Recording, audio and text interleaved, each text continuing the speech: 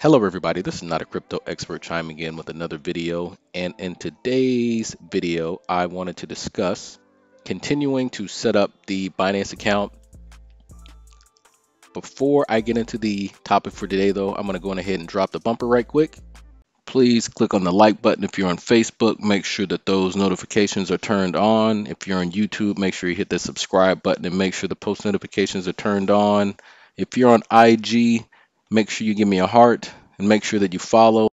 If you are on Twitter, make sure that you go over and you click that follow button. And I would love a comment just to let. Now, the uh, two factor authentication was something that I decided to wait until the very last moment because I wanted to give my feelings on the uh, SMS authentication.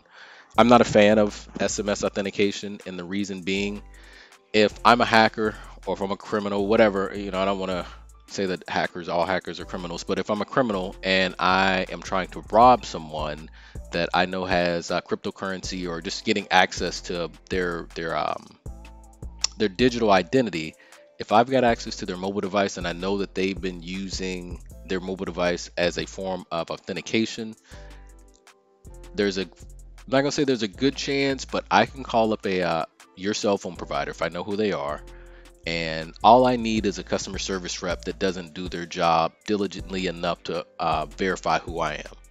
Or I might have uh, enough information to just get the customer service rep to, you know, just believe that I am the person that should have access to this uh, to the SIM card, or excuse me, to um to this account.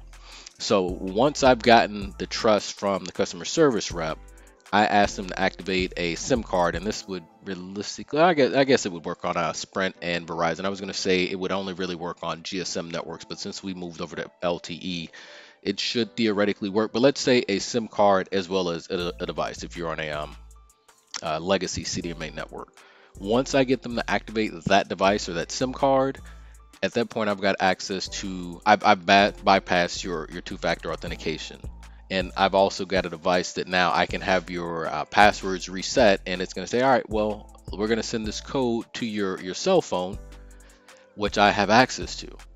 Now this isn't something that I'm just like coming up with. It's just pie in the sky. This has actually happened. There's actually uh, a lawsuit and people that have been criminally charged for this. It's called a sim swapping or sim jacking. So once again, I'm going to say I am not a fan of uh, SMS authentication. Um, I would tell, I actually, I'm not just going to say, I, I, would tell, I tell people that I know personally do not use your mobile number as a means of authenticating your account. Because if someone gets access to your phone number, they could, you know, do whatever they wanted to. And if your device is deactivated, you're not even going to know what's going on because there's notifications that would normally be coming to you are probably being deleted because this person has access to your two-factor authentication key. So I would recommend the uh, the Google authentication. Now, granted, that does not mean that you still can't be hacked or you know um, some criminal get access to your your data or your information or your digital identity. Because I mean, if somebody wants it bad enough and they've got enough time, you know, where there's a will, there's a way. But I'm gonna go ahead and set up the Google authentication because I, I feel that it provides way more security than the uh, SMS authentication. And if you don't believe me, just Google SMS hacking or SIM swapping. So since I had not set up the uh, two-factor authentication, this screen right here pops up every single time that I log in. I had been pressing skip for now until I got this video, but now I'm going to go ahead and I'm going to show you what it looks like when you click on SMS authentication, even though I do not recommend it.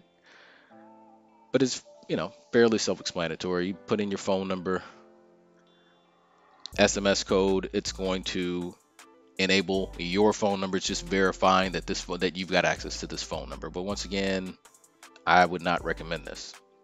All right, so I'm going to go on ahead and set up the two-step authentication with the Google Authenticator, which is an app. So I'm going to go on ahead and click on this. Now there are four steps that need to be done in order to enable the Google Authenticator for the account. The first would be downloading the app to your device. The app is available for iOS as well as Android devices. You can search the store, the uh, Google Play Store or the um, the App Store. The app is in both of them, or you can send this link that they've got a link for the uh, the app. directly on here so you can copy and paste it to yourself, email it to yourself, whatever you need to do to get it on your mobile device. Now, after you get it on your mobile device, or excuse me, once you get the, the uh, app installed on your mobile device, you click next, and there is a QR code that's generated. Now, uh, my QR code, it's gonna probably look a little bit distorted, and there is also a series of numbers and letters right here if the QR code scanning does not work. So on my Google Authenticator, I'm gonna press the, uh, the plus sign, and it gives me an option for a scan barcode or a manual entry. I'm gonna go ahead and select the option to scan the barcode and I just hold my camera. I just point it at the screen so that it gets the QR code. And then after that, I just press next. And this is really quick. Like as soon as it sees the QR code, it will add the account to the uh, Google Authenticator. Now this next step is very, very important. It's the uh, backup key.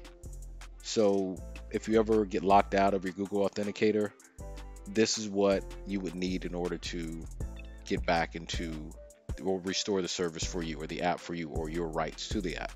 Mine is obviously blocked out. However, there is a series of numbers and letters that are right here that I would highly encourage that you make sure that you write down somewhere. And the very last step is to actually authenticate the account.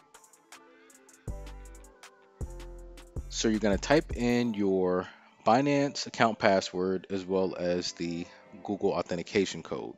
Now you get the Google authentication code from the Google Authenticator app. You just open up the app and you should see your account listed there.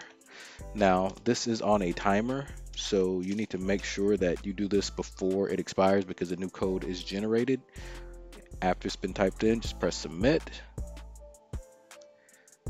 And voila, I am now authenticated for two-step authentication with the uh, Google Authenticator. As you see, my SMS authentication is it's not turned on. It's giving me the option to turn it on. And if I wanted to, I could disable my Google authentication, which I'm not going to do because this is very important. Um, I do not recommend that you do what I did when I initially set up the account. and do not set up two-step authentication. The only reason why I did that is because I wanted to have a video showing where you can go to set this up. And also, this took me to the, uh, the security settings by default.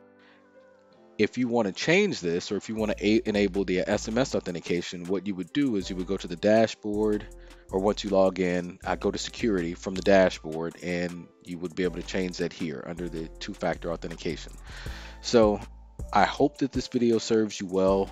Keep in mind that your security is key, your digital identity is key. Keep those private keys safe, write them down. Do not take a picture of them and email them to yourself because if somebody gets into your account and they've got your your uh, your emails or just don't store their information online because it's for a security reason and it can't be hacked if it's not connected to the web. So I'm going to leave this video here. I hope it's helpful. And with that being said, folks, I hope that you're having a great morning, a great afternoon, and an even better evening.